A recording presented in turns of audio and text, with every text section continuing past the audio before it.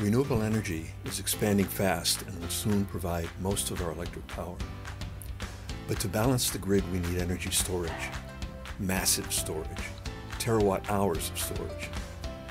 The gold standard is pumped hydro, which provides over 95% of the world's stationary storage, but it simply cannot be built fast enough.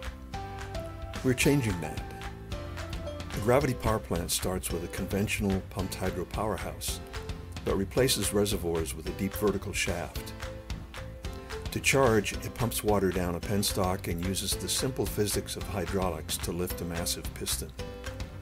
To discharge, the piston forces water back through the turbine to generate power.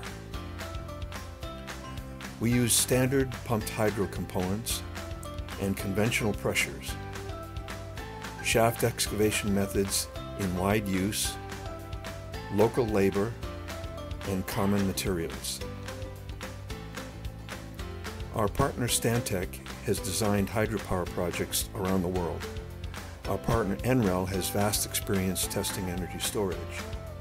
Our CEO Steve Tabor has a long history in renewable energy.